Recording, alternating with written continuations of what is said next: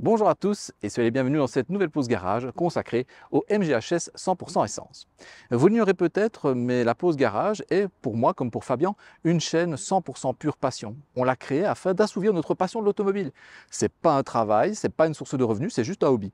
Cependant, nous avons besoin de vous, de votre soutien, au travers d'abonnements, de pouces bleus, de commentaires et de partages. Ce qui ne vous coûte qu'un clic va nous aider à être mieux référencés dans l'algorithme de YouTube et va permettre à la chaîne de grandir et de pouvoir ainsi convaincre plus facilement certains constructeurs à nous prêter des voitures. Stellantis, Honda, Mercedes, on parle de vous hein, sur ce coup-là. D'avance, je vous remercie pour votre coup de pouce, bleu de préférence, et sans plus attendre, je vous laisse avec votre essai de la MGHS 100% essence.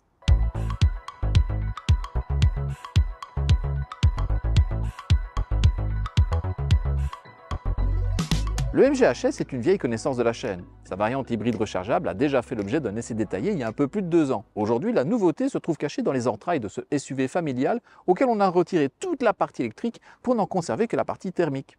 Cette variante 100% essence n'est cependant pas totalement nouvelle. Elle est commercialisée en Chine et au Royaume-Uni depuis 2019 et d'autres pays européens, à l'image de l'Italie, eh nous ont précédé déjà dès le premier semestre 2022. À l'exception de la boîte de vitesse et du réglage des suspensions, les MG HS et EHS sont strictement identiques. Esthétiquement, rien ne permet de les distinguer, sauf le levier de vitesse, mais également la trappe pour la recharge, mais ça, seul un œil aiguisé pourra les distinguer. On retrouve donc un SUV aux belles proportions et au dessin élégant qui traverse les années sans vieillir et qui plaira aux amateurs de classicisme.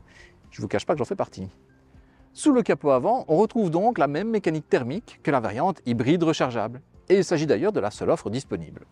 Il s'agit du 1500 TGI. Ce 4 cylindres tout en alu de 1490 cm3 est muni de l'injection directe d'un turbocompresseur et norme européenne oblige d'un filtre à particules.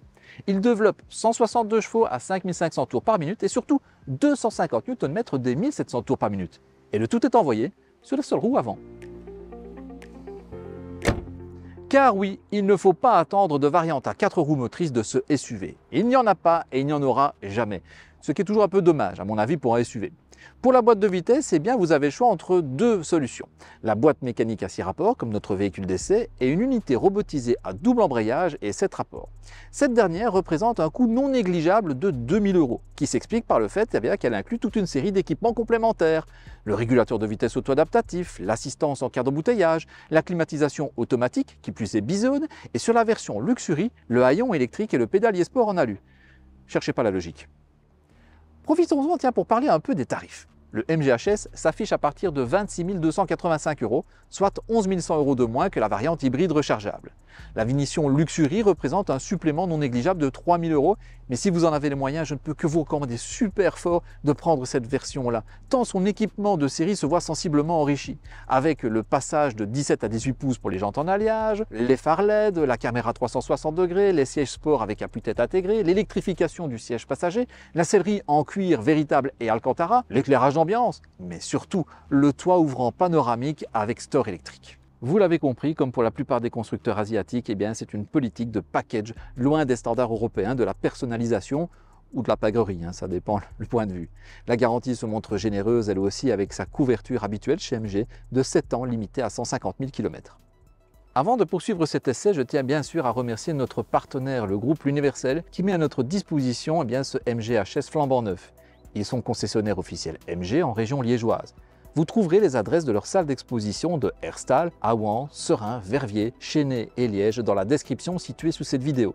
L'Universel est également concessionnaire officiel Hyundai, Mazda, Suzuki et Zero Motorcycle et représente également pas mal d'autres marques de deux roues comme Suzuki. N'hésitez pas à les contacter afin qu'ils puissent vous renseigner sur votre futur véhicule à deux ou quatre roues. Et allez savoir, ce sera peut-être un MGHS comme celui-ci. Le MGHS a brillé lors de la séance des crash tests réalisés en 2019 par l'Euro NCAP.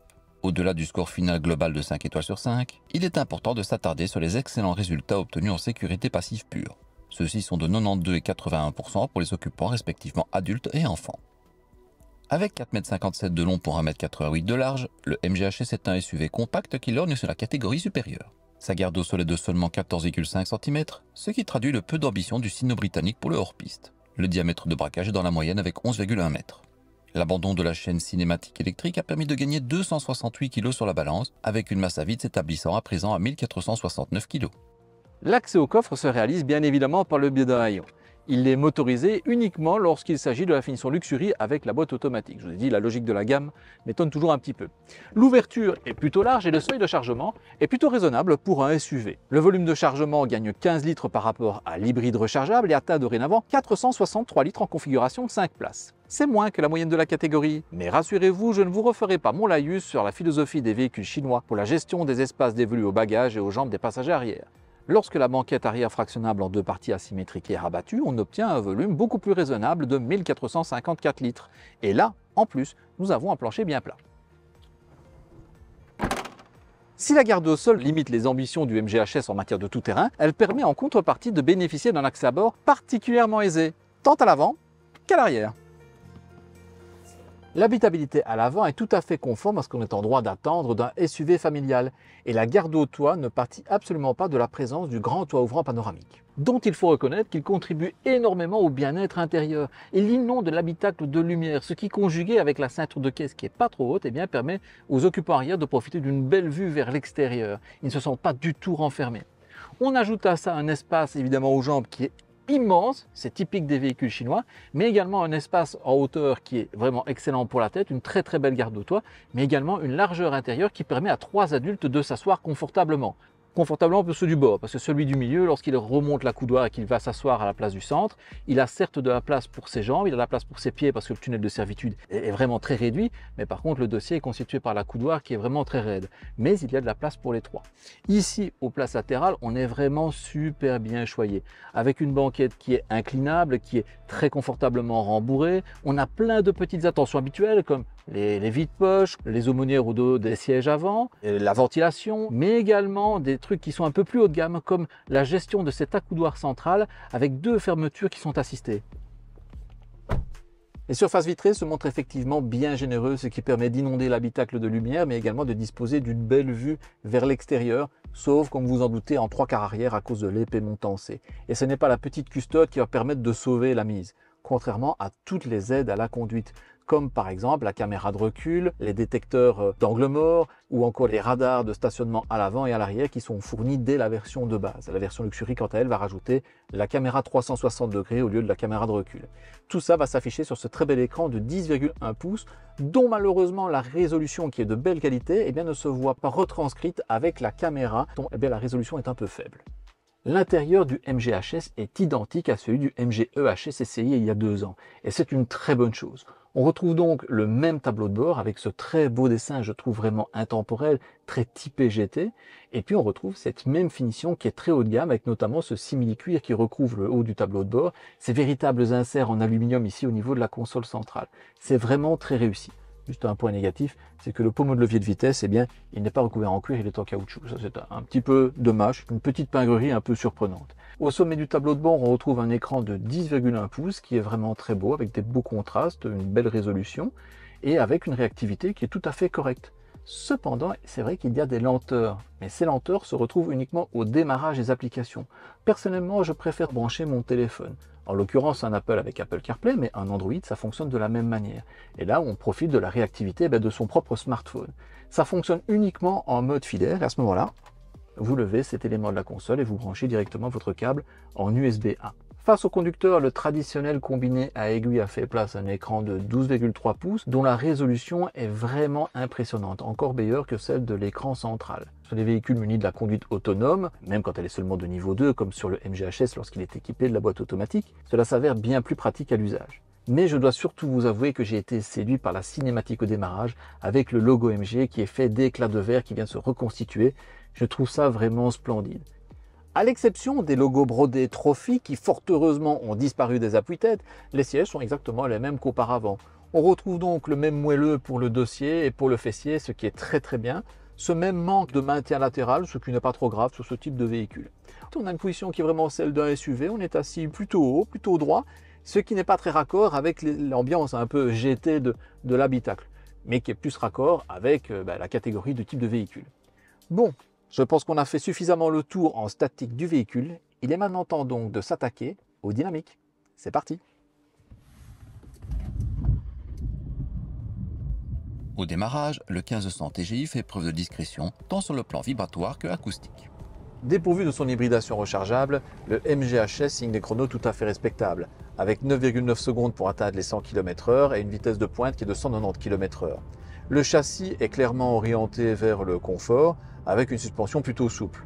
Alors on a un train avant qui est particulièrement accrocheur, hein, avec les pneumatiques Maxis. On a un très bon retour d'information. Vraiment, on a un train avant qui est très bien guidé. À l'arrière, on a un train qui, qui suit vraiment très très bien l'avant, qui reste vraiment tout le temps accroché, même lorsqu'on hausse le rythme au-delà du raisonnable ou lorsqu'on joue un peu sur les transferts de masse. L'arrière reste vraiment rivé sans, sans broncher. On a un freinage qui est vraiment pas mal non plus, qui est, qui est suffisant. Je veux dire, il est bien dosable, il est suffisamment puissant. Si vous commencez à rouler sportif, bah, le freinage, lui, va se montrer un peu limite à ce niveau-là. Ici, on a la boîte de vitesse manuelle sur cette voiture-ci.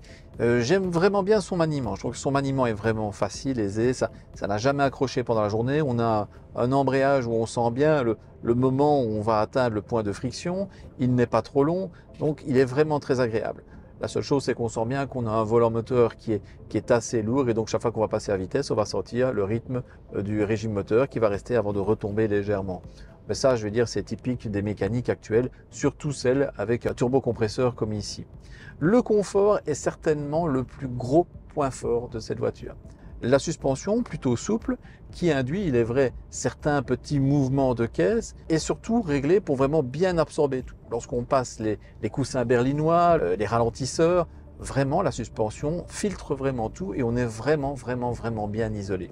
Les pneumatiques en 18 pouces ne sont pas exagérément euh, dimensionnés, donc on n'a pas une gomme qui est trop fine et eux aussi participent à l'absorption de tous les défauts de la route. Les sièges aussi aident bien à ça. Au niveau de l'insonorisation, il va falloir distinguer l'insonorisation au bruit euh, d'origine aérodynamique qui sont particulièrement bien euh, contenus. Sur l'autoroute, on n'entend vraiment rien. Le bruit euh, de roulement est très très bien maintenu aussi, on n'entend pas du tout les pneumatiques. Et puis il y a les bruits mécaniques qui sont un peu similaires à ceux qu'on va retrouver chez Volkswagen dans la même gamme, avec un, un, bruit moteur déjà qui est assez similaire, et puis un encapsulage qui est assez similaire aussi. Le seul bruit qu'on va pouvoir entendre dans la voiture, dans ces circonstances de pluie assez intenses, eh bien, ce sont les projections d'eau des pneumatiques dans les passages de roues. Mais à part ça, l'habitacle, c'est un vrai petit cocon, il est super confortable. Chapeau MG. Le seul réel bémol concerne la climatisation. Bien qu'elle fonctionne très bien, sa commande manuelle se réalise au travers de l'écran. Ça, c'est pas très pratique. Donné pour 7,4 litres en consommation mixte selon les normes WLTP, soit 168 grammes de CO2 par kilomètre, le MGHS à boîte mécanique a consommé 8,9 litres au cours de cet essai, réalisé avec les mêmes protocoles qu'habituellement. Comptez un peu moins de 7 litres sur autoroute. Initialement annoncé avec le même réservoir de 35 litres que la version hybride rechargeable, MG a revu sa copie et équipe désormais la version thermique d'un réservoir de 50 litres. Cela permet d'envisager une autonomie autoroutière d'environ 6 à 700 km.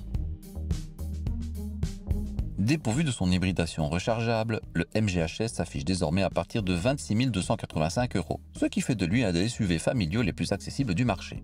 Malgré ce tarif compressé, il ne fait pas l'impasse sur la sécurité active et passive, l'équipement, le confort et la qualité de fabrication, laquelle est couverte par une garantie de 7 ans limitée à 150 000 km. Pour l'acheteur, le MGHS se profile comme un choix très rationnel, agrémenté d'un design valorisant et d'un emblème au riche passé.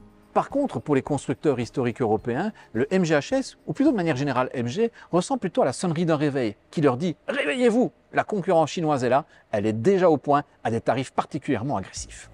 Cette vidéo est à présent terminée et j'espère qu'elle vous a plu.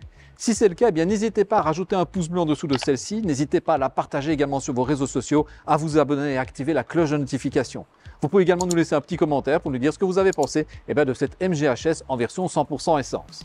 Il ne me reste plus qu'à vous dire merci d'avoir regardé cette vidéo. N'oubliez pas de jeter un petit œil à nos réseaux sociaux, mais également à notre site internet. N'oubliez pas que tout ça est 100% gratuit.